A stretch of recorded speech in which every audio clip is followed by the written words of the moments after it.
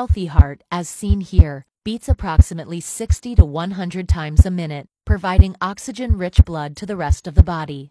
The lower left chamber of the heart, called the left ventricle, is the main pumping chamber. There are many different conditions that can lead to congestive heart failure, including a prior heart attack, high blood pressure, and coronary artery disease. Any of these can prevent the heart from efficiently pumping blood to the rest of the body. As a result, the heart may beat faster and the ventricle may increase in size, becoming an even less effective pump.